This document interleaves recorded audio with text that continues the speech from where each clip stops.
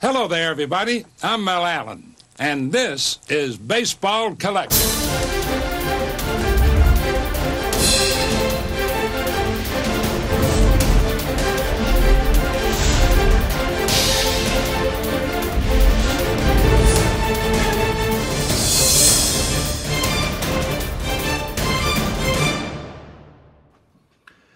Yo and hello everybody, Mike here, Baseball Collector.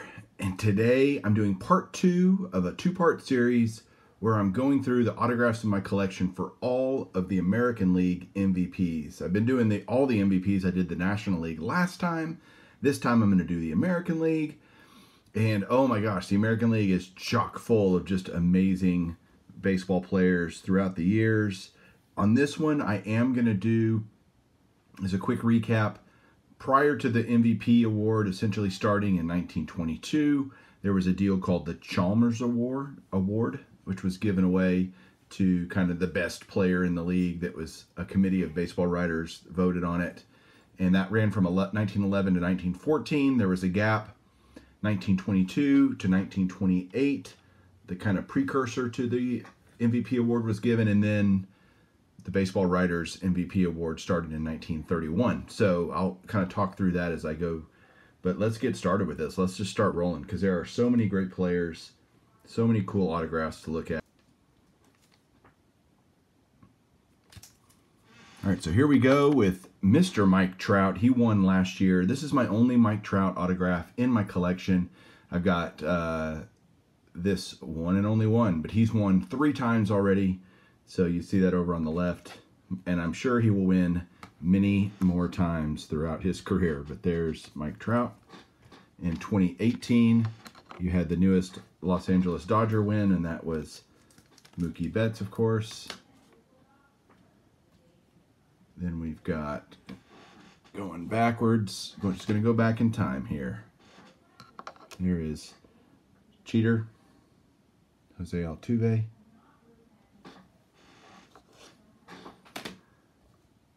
Then you had Mr. Josh Donaldson.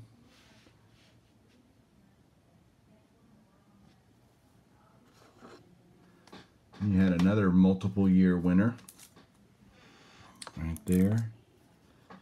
Mr. Miguel Cabrera, certain future Hall of Famer. I mean, good grief, you won a triple crown, right? We have our first pitcher MVP. Oh, well, it was Justin Verlander. It's still Justin Verlander. There's one of my Justin Verlander autographs.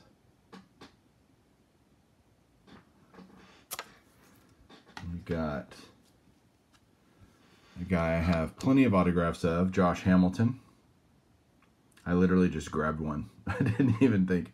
I've got so many Josh Hamilton autographs. There's Hamilton.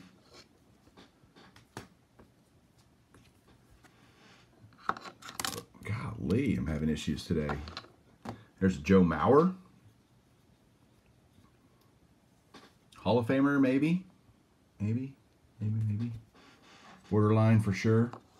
Uh, then we got Dustin Pedroia. Nice triple threads Unity relic auto right there.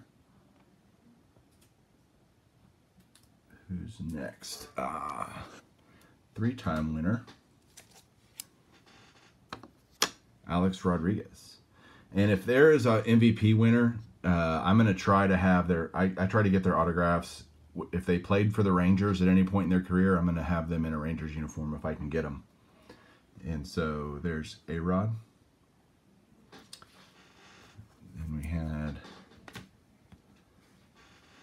another twin, Justin Morneau.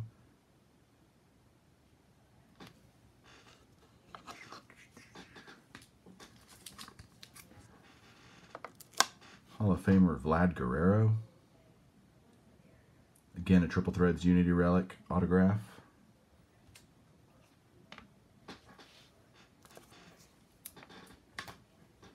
And if a player won multiple times, again, I'm not going to show them multiple times. They'll just you'll just see all their the first time they show up, they'll have all the years they won MVP. Here's Miguel Tejada.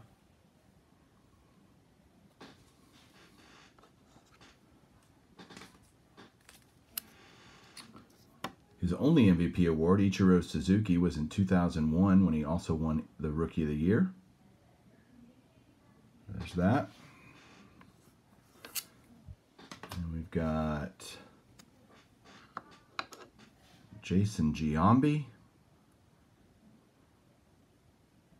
One in 2000. Now we're going into the 90s. First one of the 90s. It's one of my favorite players of all time. Plenty of autographs to show of his. I just grabbed this one. Ivan Rodriguez.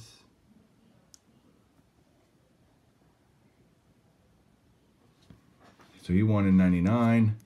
And then a guy that I used to super collect big time. So I still have a few of his autographs, even though I sold off most of the collection, is Juan Gonzalez. And I just love the 98 Donruss Signature Series autographs. This is the preview version, which is very rare. I think there were only 108 of these made.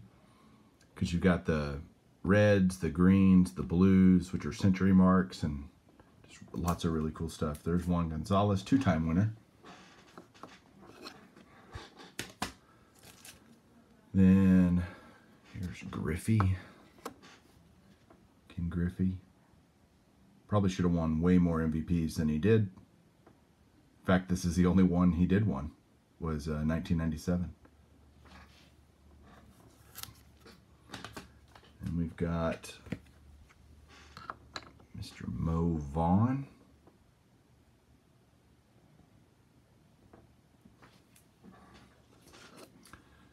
Next up, another back-to-back -back winner. Frank Thomas, Hall of Famer.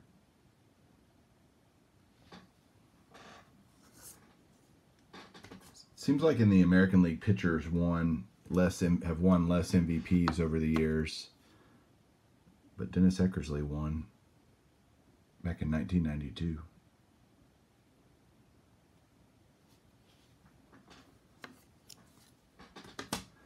We got Cal Ripken won twice 83 and 91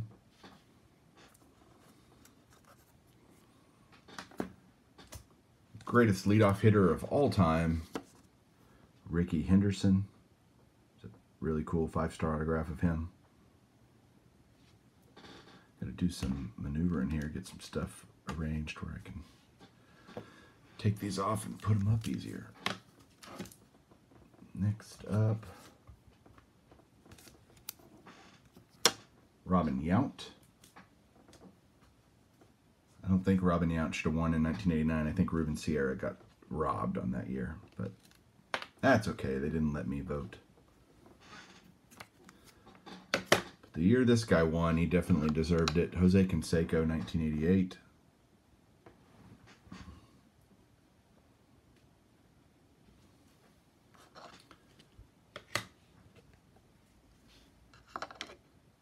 George Bell.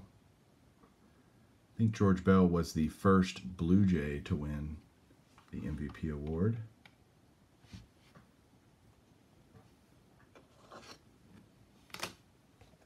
This guy won a ton of Cy Youngs, and he also won one MVP award, and that's Roger Clemens. This nice 1992 Ultra.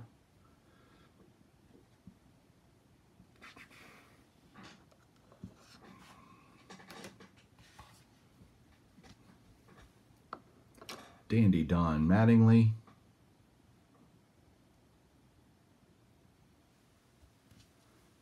And probably the weirdest, most perplexing MVP award I think I've ever seen is Willie Hernandez.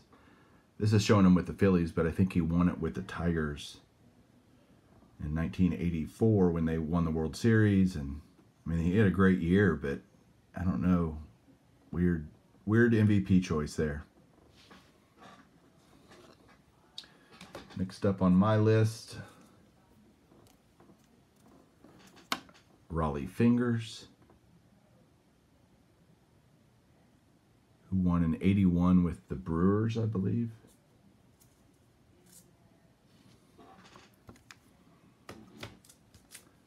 We've got George Brett. 1980, great season for him. I think he hit 390 that year.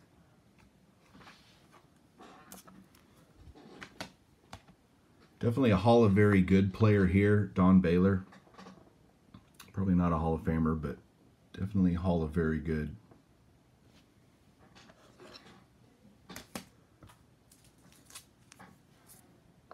Next up, there's a Jim Rice.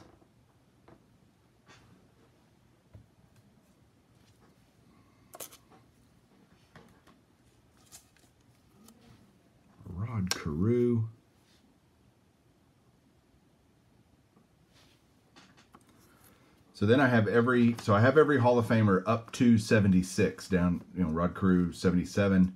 I'm missing Thurman Munson. Very, very expensive autograph because he died so young. So I do not have a Thurman Munson autograph. I do have a Fred Lynn.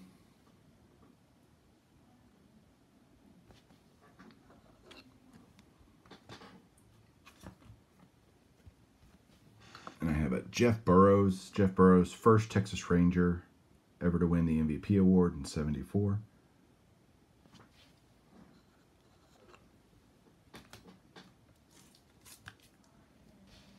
Mr. October, Reggie Jackson. Just love that card. Here's a guy I think will get in the Hall of Fame someday. Uh, Mr. Dick Allen, Richie Allen.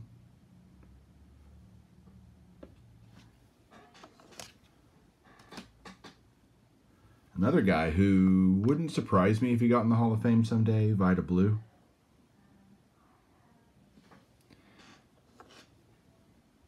Next up is Boog Powell, and I have a Boog Powell autograph again somewhere. He's one of the, there's two guys I can't find their autograph for some reason. They're hidden away somewhere, and Boog Powell's one of them. I'll tell you the other one in a minute, because it'll be literally just a minute. There's, uh, I don't have any problem finding any Harmon Killebrew autographs, because I got a ton of them. There's a 71 Topps Killebrew.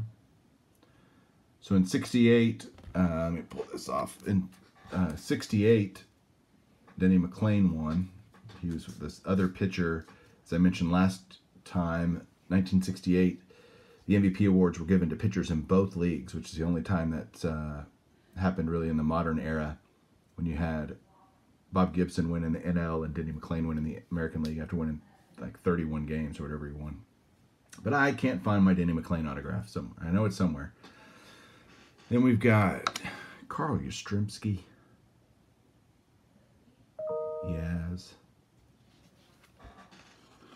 If you watched the NL video, you saw this card because this is the only guy that's won the MVP in both leagues, and that's Frank Robinson. 66 was his uh, Triple Crown year. I don't have Zolio Verse Versalis. I don't know how to say that very well. But I do have a Brooks Robinson right there. Plenty of Brooks Robinson autographs.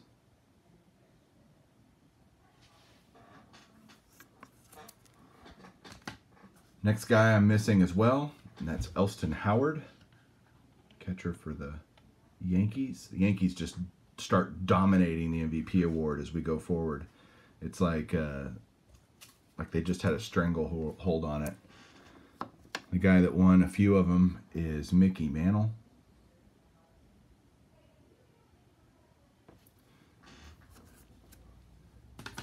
Then I am missing Roger Maris, who won back-to-back in 60 and 61.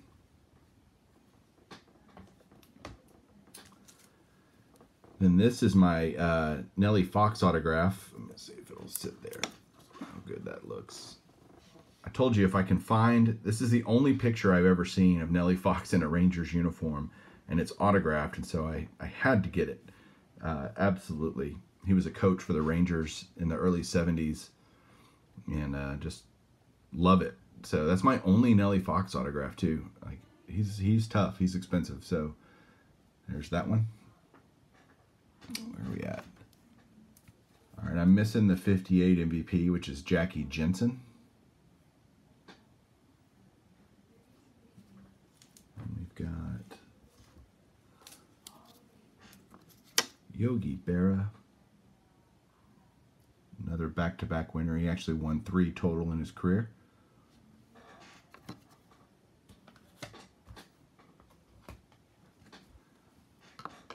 Al Rosen with the Cleveland Indians.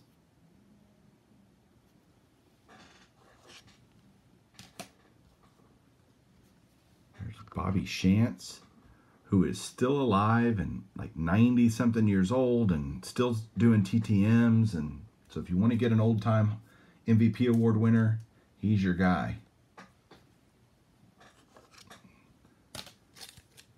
We had 1950, Phil Rizzuto closing out the 50s.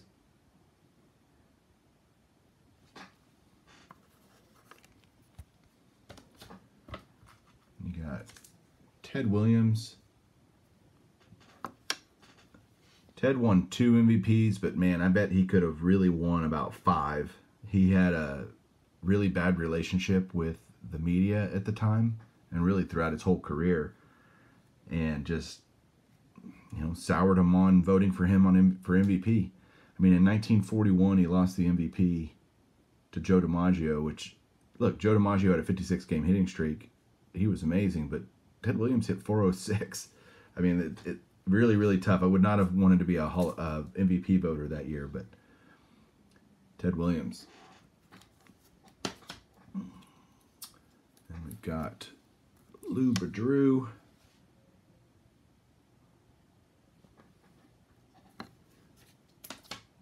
Speaking of Joe DiMaggio, here he is, and here's the card. This is a pack pulled thing from 1992 score. An autograph actually on the back. I got plenty of DiMaggios to show. I just thought that, I think this one's cool, so that's the one I grabbed.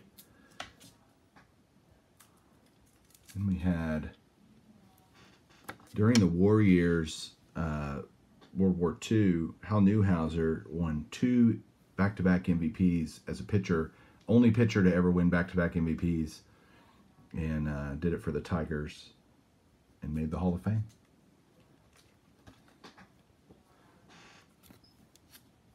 This is one I showed recently in a mail day because I just got it. And it's Spud Chandler on a 3x5 card.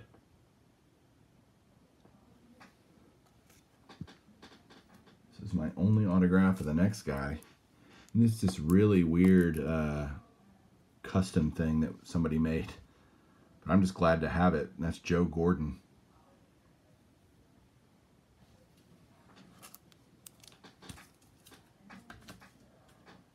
Next up is Hammerin' Hank Greenberg. Great card there.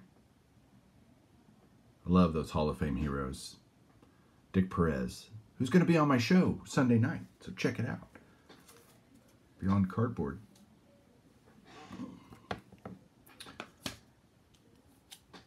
Next up, another three-time winner. And that's Jimmie Foxx. He won back-to-back -back in 1932 and 33.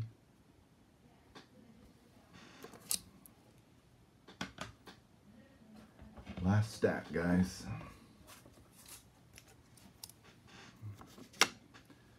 Charlie Gehringer.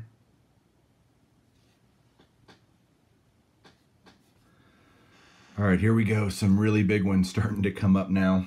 Uh, here's the first one. I don't have a lot of words to say on this one. Lou Gehrig, who won twice, 1936, 1927. So he's uh, his signature's right there. There's another very tough Hall of Famer, Tony Lazzeri, on this piece. Multi-sign piece. I still need to get a Gehrig solo piece, but just so expensive. I'm pretty content with what I have right now. We got the great oh, Mickey Cochrane. He also won two MVPs.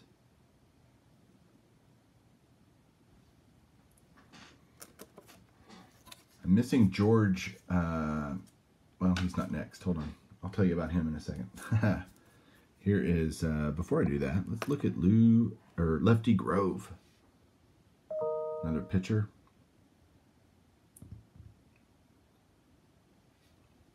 Then you got Mickey Cochrane, Lou Gehrig, and George Burns is another player I'm missing. He won in 1926. 25, you had a got a little Washington Senators run. There's Roger Peckinpaugh. Not an easy auto to get. Uh, here's another pretty great one. If that'll stand up there. Walter Johnson, two time winner. Love his autograph.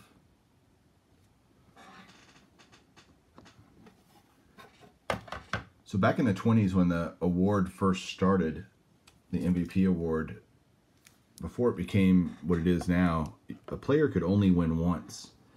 And that's why this guy only won one MVP award in 1923. He probably should have won six or seven over his career. But uh, there's my Babe Ruth autograph. I absolutely love it. I can just sit there for a second. All right, babe, move on. You only won one MVP. Come on, let's go. Next up,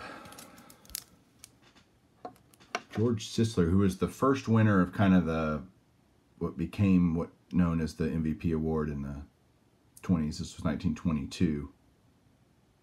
So there's George Sisler. And then we kind of skip back to that uh, Chalmers Award. Like I was talking, there's four winners in the American League and I happen to have all four. One of them I've already shown you, I'll tell you in a second, but the first one to show off here, I'll do it that like that. It's Eddie Collins. Very, very tough auto to get. Love it. So Eddie Collins from 1939. Jeez.